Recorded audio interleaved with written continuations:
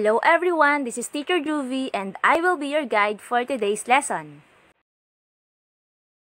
Our task for today is lesson 5, or simplifying a series of operations and whole numbers involving more than two operations using the PMDAS or GMDAS rule. But before we proceed to our main task, let us first define PMDAS rule. PMDAS multiplication, division, addition, and subtraction. It is also a set of rules that prioritize the order of calculations, that is, which operations first. So yung PMDAS, uh, or PEMDAS rule ang magiging guide natin para alam natin kung ano bang operation ang unahin natin. So once na nagkamali ka ng perform sa operation na yun, you will arrive at the wrong answer.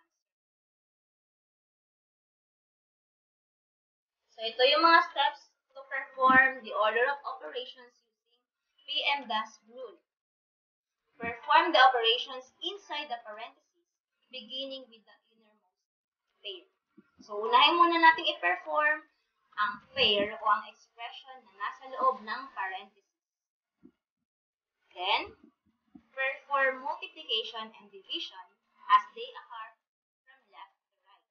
So, sunod sa parentheses, either mag-multiply tayo or mag-divide. Depende sa uh, hinihingi sagot na.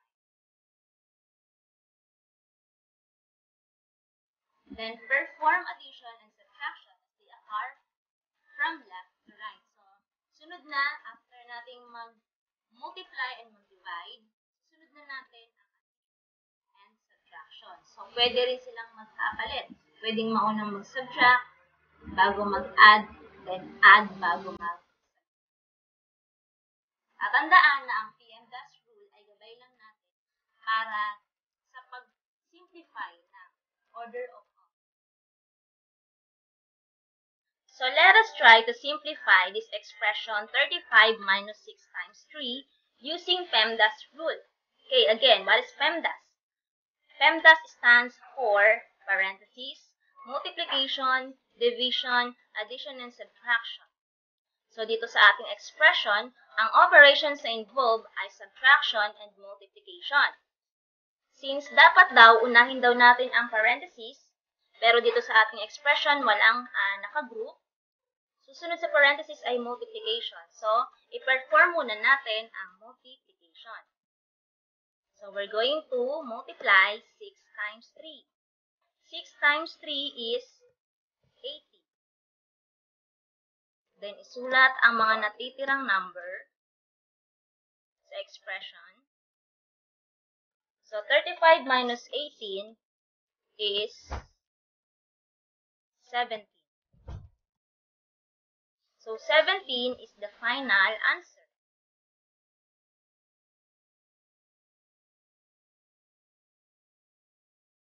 Okay, so let us simplify 2 times 17 divided by 3 plus 8. So, from this expression, lahat ng operations ay involved.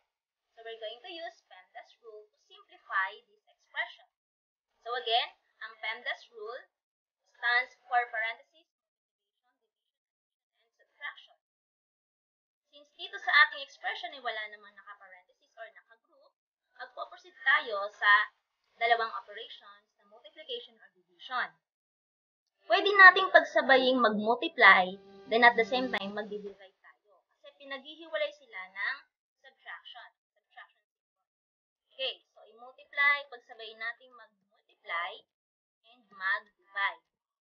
So 2 times 70 is 100.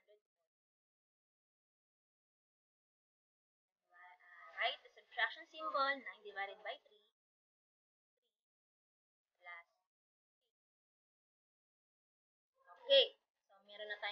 40 minus 3 plus 8. So, sa subtraction and addition, sa ganitong expression, pwede na natin siyang isimplify o i-perform ng So, 140 minus 3, 7. Saka tayo mag-a-add ng 8 to find the final answer which is 145. Then, bilugay nyo ang ating final answer.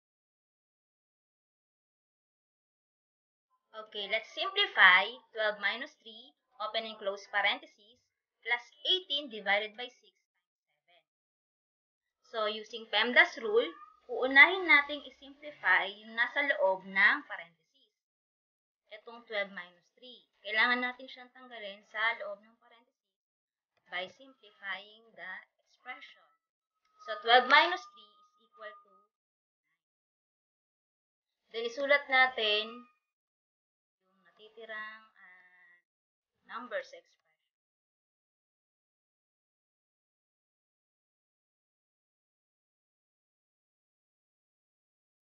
Okay, so we have 9 plus 18 divided by 6 times 7.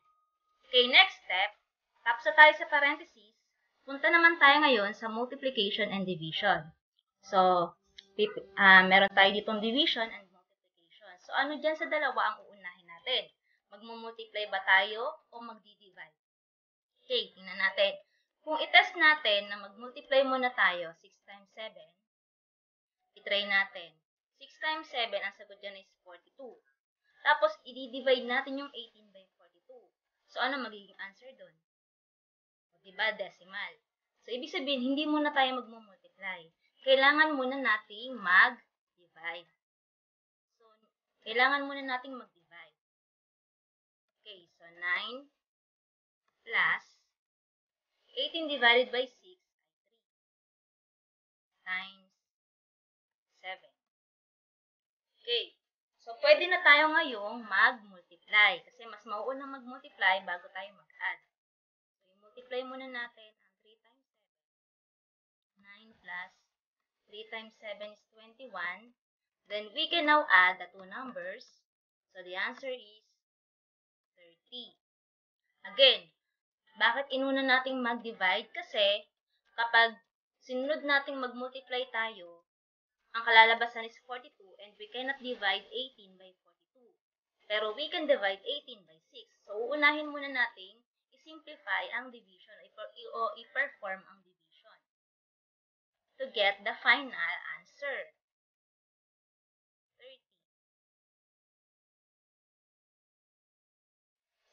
Simplify 23 minus 12 times 2 divided by 6. So, since sa expression na to ay walang parentheses, we will now proceed with multiplication or division. So, tingnan from left to right kung ano ba dyan yung uunahin nating operation. Kapag inunan natin ang division, ang 2 is not divisible by 6. Therefore, mas mauuna ang multiplication. So, 12 times 2 is 24. Then, isulat natin yung mga natitirang numbers. 23 minus 24 divided by Pwede bang i-divide ang 24 sa 6? Pwede. So, the answer is 4. Then, kunin na natin ang difference ng dalawang number. 23 minus 4 is 90. So, 19 is the final answer. So, kung napansin nyo, kanina, nauna tayong mag-divide bago mag-multiply. Ngayon naman, nauna tayong mag-multiply bago mag-divide. So, ang PEMDAS ay acronym lang yan. Tatandaan nyo na pwedeng maunang mag-divide bago mag-multiply. Ganon din sa addition and subtraction, pwede tayong maunang mag-subtract